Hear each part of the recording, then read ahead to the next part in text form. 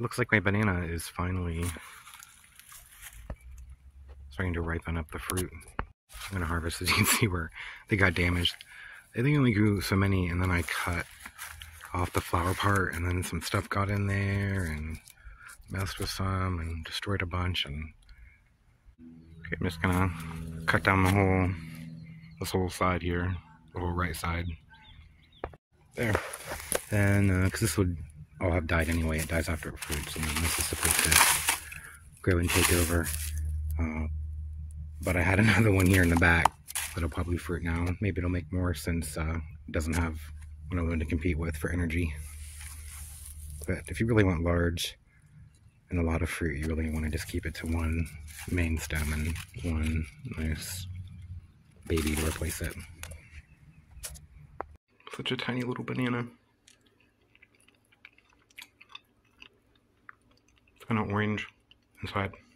Mmm. Wow.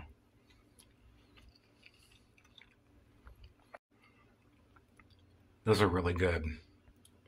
Really good. I like that.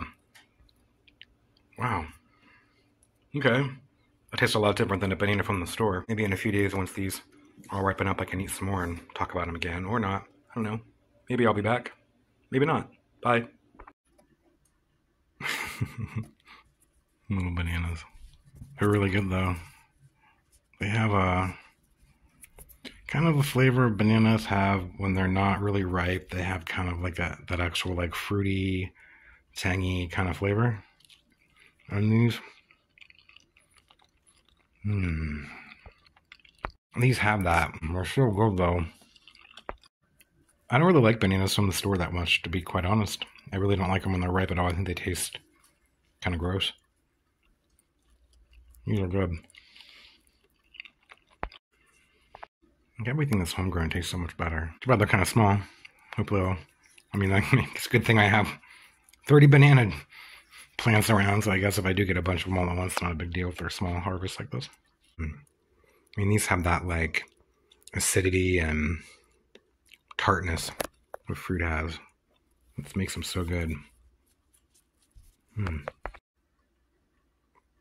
Not too bad for 9A.